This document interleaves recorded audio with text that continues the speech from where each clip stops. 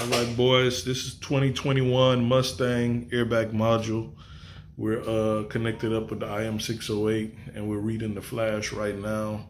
This one was a pain to solder because it's so small. Uh, it took quite a bit of time to get it, but I finally got it and I'm reading the flash right now. Yeah, just so you know, boys, this is the part number of the module, right? Four screws at the bottom, release it. All right, guys, I got the cleared file, so I'm back into the programmer. We're gonna go to chip. On this model, we can use the same, the built-in function. I could also go under MCU and choose the same chipset, but um, it's already here. It's just kind of quicker. So I go to airbag, which it's very rare there is. As you can see, there's only three, you know, and how many, that only covers three chipsets, which, you know, you can still do it without that. But we're gonna go here using the EcoSport because that's the same chipset and it's under Flash 2. That's where the actual crash data is stored on this unit. And then we're gonna go to write.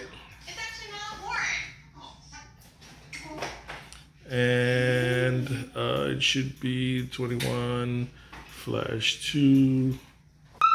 Yeah, this is the clean one right here. Cleared. Yep, that's the file we want to load. Okay. Oh, chip not connected. One second. All right, back at the same step. I had to fix one of my solder points there. Cleared file. Okay.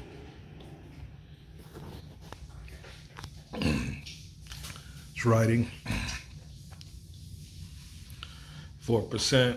Then, of course, I always have my verify on, so it's going to read it and verify that the write was successful. These take a little bit longer because the flash portion on, for example, on this one is a uh, 64K. So it takes a little bit longer to actually read the um,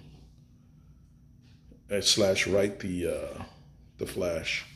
And we're on, uh, if you're using the IM608, it's flash 2. That's the actual area on the uh, chip where the crash data is stored.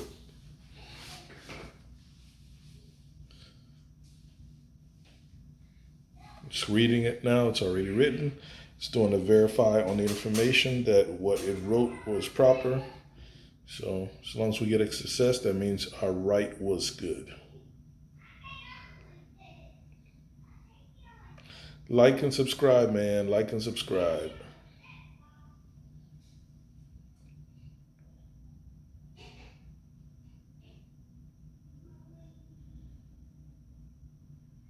If you don't get, if you didn't get the app on clearing the crash data, um, look at my previous videos. There's a free app to clear the crash data.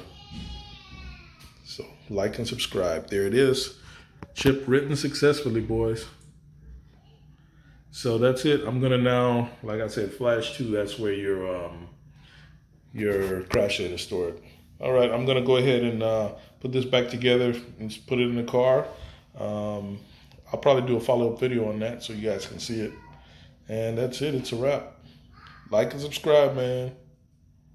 All right, guys. I um I installed the uh, module in the Mustang. I completely forgot to grab the footage installed it, cleared the codes. Um, especially there was some code in the OCSM. If you ever do that, you got to remember to clear it out, out of there.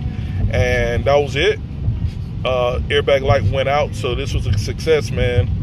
So yeah, it does work on this model as well. Like and subscribe, man.